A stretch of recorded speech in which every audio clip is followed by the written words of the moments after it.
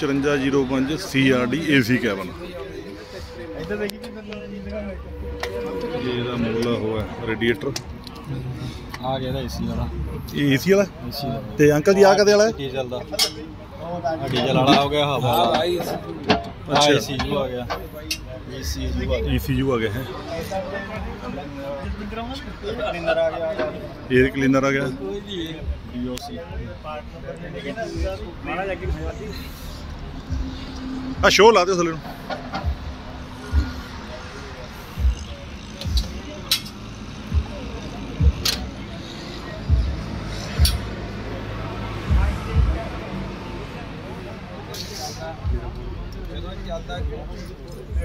Pradeep side ਤੇ ਹੋਇਓ। ਜਸਵਿੰਦਰ? ਇਹਦਾ steering ਦਾ ਕੀ ਹੋਇਆ 25 ਡਿਗਰੀ ਤੱਕ ਟਿਲਟ ਹੁੰਦਾ ਜੀ ਇਹ। ਤੇ ਟੈਨਿਸ ਕੋ ਉੱਪਰ ਥੱਲੇ ਵੀ ਹੁੰਦਾ ਹੈ। ਕਈ ਵੀਰ ਥੋੜੇ ਜਿਹੇ ਫੈਟੀ ਹੁੰਦੇ ਆ ਤਾਂ ਉਹਨਾਂ ਕਰਕੇ। ਏਸੀ ਹੈ ਜੀ ਪੂਰਾ। ਥੱਲੇ ਫੁੱਲ ਸਪੇਸ ਹੈ। ਪਿਛਲੀ ਟਾਕੀ ਵੀ ਇਹਦੀ ਓਪਨ ਹੁੰਦੀ ਹੈ। ਟਾਕੀਆਂ ਕਿੰਨੀਆਂ ਓਪਨ ਹੁੰਦੀਆਂ? ਇਸ ਤਿੰਨ ਟਾਕੀਆਂ ਓਪਨ ਹੁੰਦੀਆਂ ਨੇ। ਇੱਕ ਦੋ ਆ ਹੋ ਗਈਆਂ। ਹੋ ਗਈਆਂ। ਇਹ ਆਪਣਾ ਪੀਟੀਓ ਸ਼ਾਫਟ ਆ ਗਈ।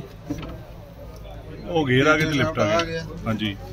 ਜਿਹੜੇ ਡਬਲ ਪੀਟੀ ਵਾਲਾ ਲੀਵਰ ਆ ਥੱਲੇ ਆ ਗਿਆ।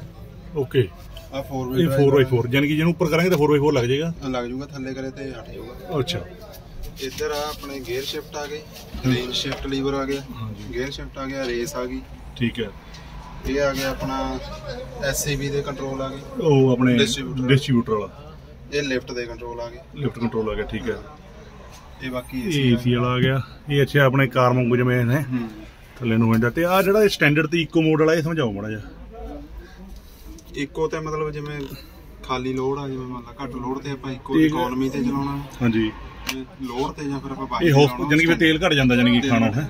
Okay. 55 ਹਾਰਸ ਪਾਵਰ ਤੇ ਕੰਮ ਕਰੂਗਾ। ਇਹ ਹੈਗਾ ਜੀ 63 ਹਾਰਸ ਪਾਵਰ ਟਰੈਕਟਰ ਜੇ ਆਪਾਂ ਸਟੈਂਡਰਡ ਮੋਡ ਤੇ ਕਰਦੇ ਹਾਂ ਤਾਂ 63 ਐਚਪੀ ਬਣ ਜਾਂਦੀ ਹੈ ਤੇ ਇੱਕੋ ਤੇ 55 ਐਚਪੀ ਬਣ ਜਾਂਦੀ ਹੈ। ਇੱਕ ਵਾਰੀ ਤੁਹਾਨੂੰ ਪਿੱਛੋਂ ਵੀ ਘੁੰਮ ਕੇ ਦਿਖਾਉਣਾ ਸਾਰਾ। ਆ?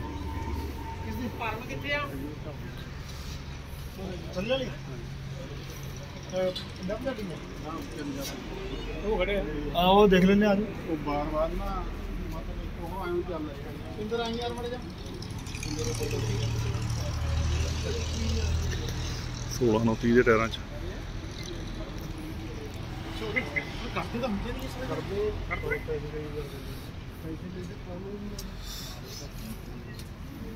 ਇੱਕ ਵਾਰੀ ਥੋੜਾ ਇੰਜਨ ਤੇ ਮਰਵਾ ਦਵਾਂ ਜਿਹੜਾ